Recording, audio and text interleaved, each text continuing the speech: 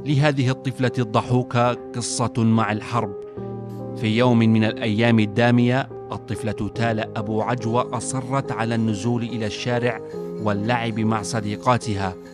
ارتدت حذاءها الرياضي وذهبت ركضا وسط الحارة. دقائق من اللعب وتحول المشهد. الدخان غطى المكان.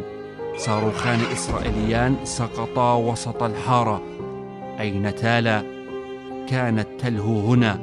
تحولت تالا إلى أشلاء تعرفوا عليها من حذائها الملطخ بالدماء.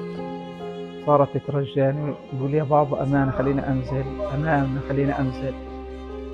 حزنت عليها من كثر ما بدها تلعب مع البنات. قلت لها خلاص انزلي. لبست بوت العجال سكوتر ونزلت. شي دقيقة دقيقتين سمعنا صوت دبة قوية صوت صاروخين. نزلت أجري جراي وأنا أنادي على تالة. أما وصلت عند الشقة المقصوفة لقيتها بين الركاب. وبوت العجال عرفتها والله من بوت العجال هو المبين الوحيد. ارتقت تالا رفقة صديقاتها. لم يبقى أحد يلعب في الحارة. قتلت أصوات اللعب والضحكات.